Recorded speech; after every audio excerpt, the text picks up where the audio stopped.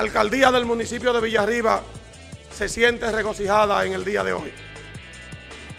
Porque este acontecimiento que se está celebrando marca un hito en la historia de Villarriba.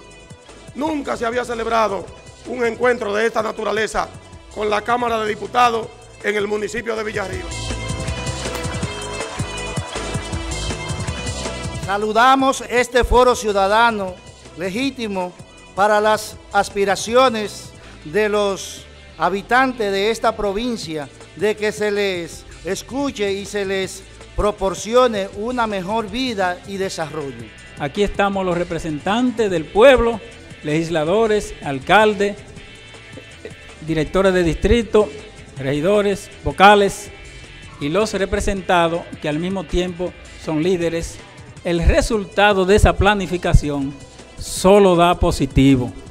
Se pierden dos veces al año cientos de miles de millones de pesos por no hacer ese aliviadero que va desde Boca de Sevico hasta Barracote. Si se hace a Clipo 3, sería una historia precedente a nivel nacional hasta internacional.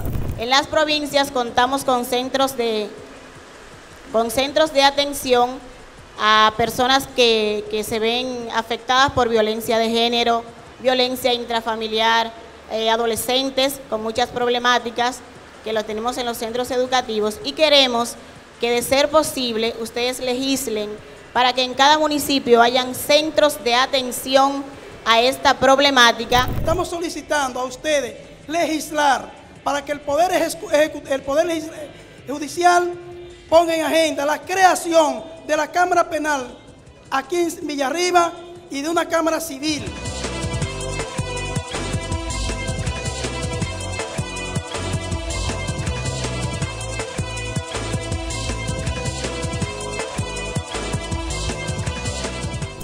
Desde ahora yo le prometo a ustedes que sus diputados, conjuntamente con la dirección de la Cámara de Diputados, haremos todas y cada una de las dirigencias que fuese necesaria hacer para lograr que las necesidades de estas comunidades sean escuchadas.